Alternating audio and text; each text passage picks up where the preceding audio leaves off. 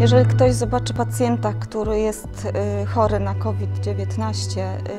nigdy y, tego nie porówna ze zwykłą grypą. Takie charakterystyczne może, co jest dla, dla tej choroby, to jest to, że jeżeli pacjent nawet przyjeżdża w miarę dobrym stanie, to niekiedy w ciągu dwóch dni dochodzi do takiego kryzysu, że, że y, choroba postępuje i nagle pacjent, który wydawał się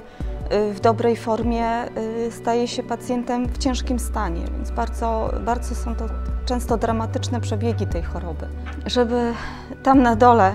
mogło wszystko funkcjonować i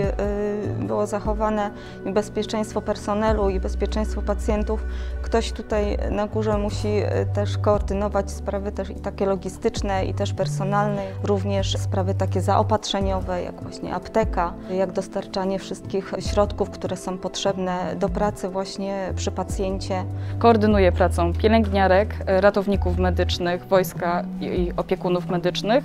którzy pracują w strefie czerwonej w części ogólnej. Do moich jeszcze zadań dodatkowych em, zalicza się też zamówienia wyrobów medycznych, czyli wszystkie mundurki, kombinezony, gogle, e, przyłbice, e, wszystkie e, taśmy, buty ochronne, Tutaj trudno określić, że hospitalizacja będzie trwała powiedzmy dwa tygodnie. Wszystko zależy od po prostu stanu pacjenta, od tego jak, jak będzie przebiegała, przebiegał proces tej choroby.